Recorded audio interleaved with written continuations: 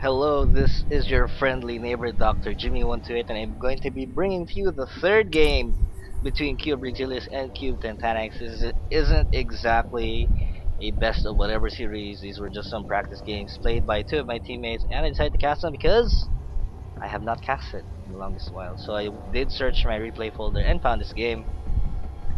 And let's hope this is going to be another exciting game. Back in game 2 we saw excellent excellent use of Nydus runs from Tantanix, absolutely pounding away on the economy of Rixilius until he tapped. And that's one thing that uh, Zergs have been doing recently. I mean, my friend, uh, I actually tapped to my friend who kept on harassing my mineral line with Zerglings. Well, I actually was attacking.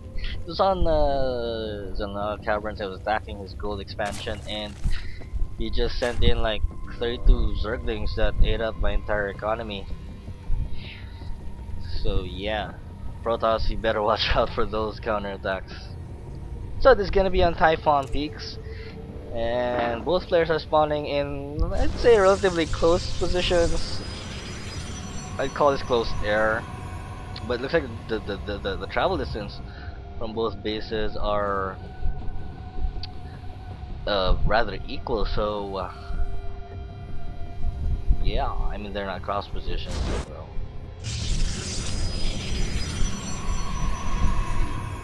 Sander Day coming in from Exilius, not seeing any cheese. As once again, he's not known for cheese. And Tantanix now going once again for a 15 hatch. Gonna follow it up probably with a 15 pool. He's not making any drones right now. He's saving up for that spawning pool, which come in 3, 2, 1. There goes a drone. Right on cue. Gateway coming up. Cybernetics Core should be going down as soon as the minerals are there. There you go leaving a nice little uh, opening for a zealot to block. Probes now placed in gas. Very standard play. This is, these are the standard solid builds for Zerg and Protoss.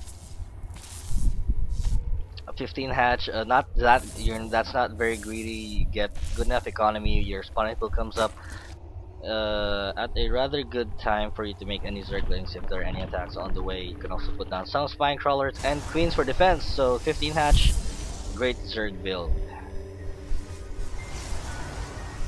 And the drone now coming in spots the cybernetic core sees everything is as it should be. No probes going in gas though yet. Uh, yet though, yes, no probes yet going in gas. Six Zerglings now spawning out huge, huge drone transfer here from Tantanix. Producing six lings and uh, two queens. There go the probes in gas. Probe now just gonna... She gonna die! Yes, the probe dies. Wasn't able to escape with his life. His kids are gonna cry when they find out he's, he has perished. And looks like this one's Stalker though is gonna go out and try to do a little bit of harass. It might encounter these four these five Zerglings and Rexilia spotted uh, Regilius though I mean Gino doing the wise thing and backing out because right now the Stalker is faster Zerglings it has 2.95 movement speed. The Lings only have uh, oh they actually have the same movement speed. They do? Okay. But Stalkers though very very nimble and rather good against Zerglings. I mean with you know in small numbers. A lot of chrono boost saved on Regilius's Nexus. I wonder what he's gonna do with it. He can chrono boost his warp gate. Looks like he's gonna go into a three gate expand this game. He's gonna go straight up macro. Um, he figured mm, cheese has not worked in past games, so he's gonna go macro. He cancels. I believe that was a gateway. He's gonna put down a Nexus. There you go. There goes Nexus for Exilius.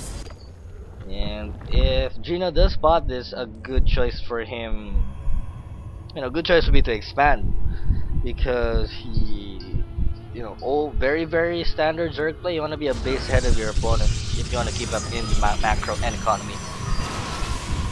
And uh, Gino does spot that. Will he react by putting down a hatchery? No, he gets Zergling speed and robotics facility now on the way for Exilius. Very very standard uh, Protoss play. getting his uh, robotics facility, and he's actually getting there up front, trying to make it a little bit, trying to make a little wall up. Zerglings there fall to the little Protoss army, which I like because um, this does minimize the set of the Zergling run by. So you have to go around going straight on you, you have to go around. So this gives you enough time to warp in a zealot, get a force field, or get some forces to block the Zerglings, and we should be seeing the observer.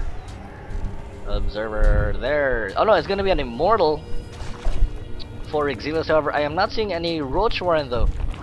No Roach Warren up for uh, Gino. And he is floating a lot of minerals. He does have a lot of larva. What is he gonna do with them? He's gonna go ahead and go for Lairtech, grabbing a spore colony. And which it, uh, with the position of the spore colony, it does work for him in two ways. On one, it'll spot any Dark Templar or any Observer. So, I like the positioning right there. Now Gino's grabbing his uh, third base. And just poking around with Lings here. Uh, what is it doing? Well, we actually we actually have a lot of Lings. So what are, are they gonna jump on the cliff? I don't know. They may do a run by.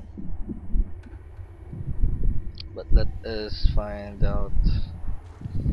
Lair is just about to finish and we're now okay, so we now see a Roach Warren going down for Gino.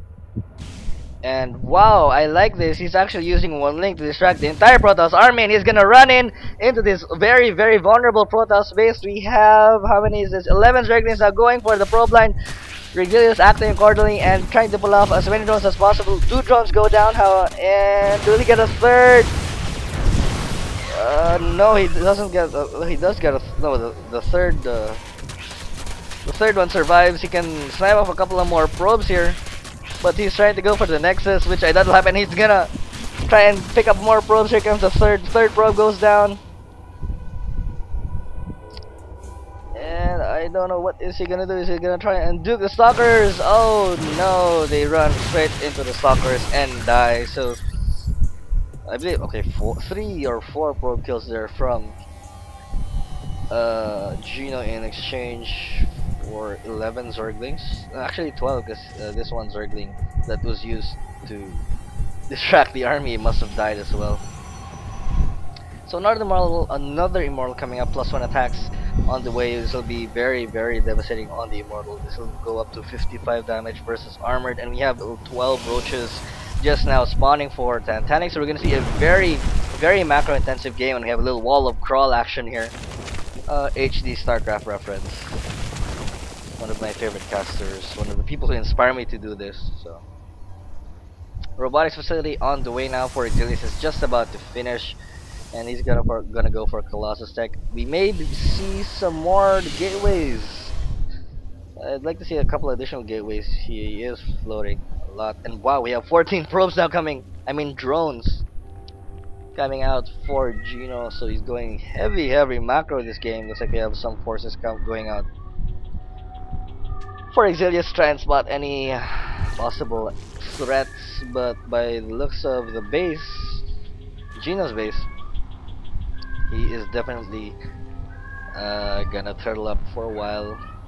Plus one task almost done. Extended thermal lance being researched, and we have the first Colossus on the way. I'm not seeing any additional gateways though.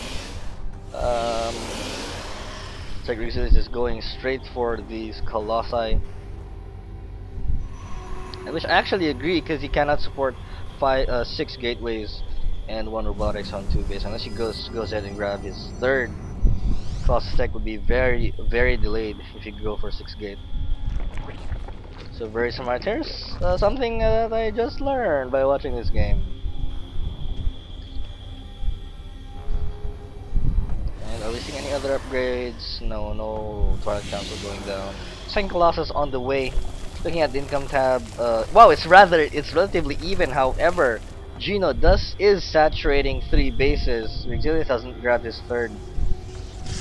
And one of the very interesting things about these spawn locations, the uh, naturals are very, very close. Uh, they're just like a screen away, and you can take out these destructible rocks for easy access. And looking at the food count, Regilius is not that far behind. Looks like we have a Spire now coming up for Gino. He might want to, I don't know.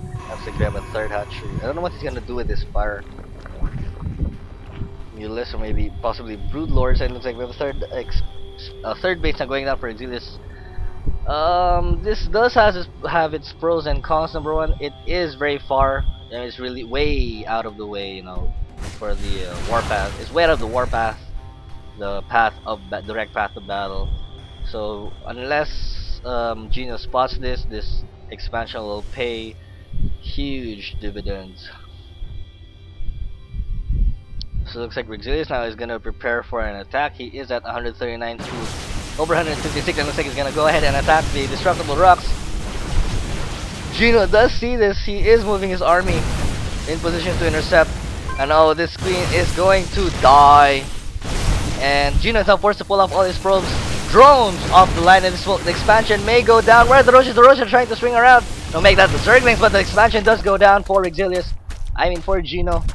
So Regilius they're just wanting to snipe that expansion and he used uh, the terrain pretty well. Uh, he could have easily force fielded. Did Yeah, have, have sentries? Yeah, he could have easily force fielded the Roach army. So that that is also one of the reasons why Gino did not attack because he can just be force fielded. And that hatchery would have gone down anyway. So we have three Colossus now out for Exilius. This is a huge number of Colossus. Fourth one could be very deadly. And oh yes, of course, how could I forget? He got the Spire for the Corruptors. I am so, so sorry. He got the Spire for the Corruptors to counter the Colossi. It's like now Protoss Shields being upgraded. Interesting upgrade, and we have a lot of gateways now on the way. Three gateways now being put down. Fire Council and another Forge. Regilius hasn't hasn't exaggerated exactly exaggerated ex exaggerated saturated his third, and he's uh, trying to catch these Zerglings. But these Zerglings could come, uh, could be very big later on because they can do a little pincer attack here if Regilius decides to engage. But Regilius wisely pulling back, gonna wait for 300 as his gateways are about to finish. He now has four Colossus, wow, and bunch of immortals. These will take care of the roaches, no problem. These immortals can one-shot the roaches. And here come the gateways. This should bring Exilius to 200. Plus two missiles now coming up for Riggs uh, for Gino and this one for doing nothing, being lazy. Here come the additional gateways. And oh, are these Zerglings? These Zerglings are gonna spot this bottom expansion, though there are a lot of cannons. The Zerglings spot the expansion and are attacking this are attacking, duh, but the cannons are there to defend. Looks like uh, Regilius tries to warp in, more zealous to defend his expansion, and he should be able to hold. And uh oh, looks like he is now gonna move in for the kill. He is at 144, 194 over 168. Gino lost a lot of units and he's desperately producing now 15 roaches he's gonna shoot up to 200 however this isn't exactly the 200 200 the 300 situation that any sex seconds have been. Here comes a huge attack. The wall of Grawl is under siege and these roaches can be easily force fielded in half. And here comes the Corruptors coming from behind. They're gonna take out every single Colossus. But the Immortals are eating away at the roaches. The army has been cut in half. And all the Colossus are gonna go down. However, the Immortals here proving to be very, very effective, though they don't have that many kills. Regilius is at 11111. He has a lot of sentries. He does have the Guardian Shield and he's moving in now. These Corruptors are basically useless and these are only has to defend trying to use corruption on the units but it might not be enough. The Roaches are clumped up here behind they cannot attack and these Protoss units continue to deal a lot of damage and oh no Jin is being forced to pull the drones off the line to try and defend but looks like there's gonna be there's too much there's too much. Here comes some reinforcing stalkers coming from G from Regilius and the roaches are going to go down. 10 roaches in production but it won't be enough. All the morals go down though but the damage has been dealt. All the stalkers can take out the roaches no problem. And Tantanix GG's and Regilius takes a game playing super ultra macro Protoss and that was an excellent game. I hope you guys enjoyed that. Very fun conclusion to this uh, little three match series so, I hope you guys enjoyed that, and this is your friendly neighbor Dr. Jimmy signing off. Bye bye.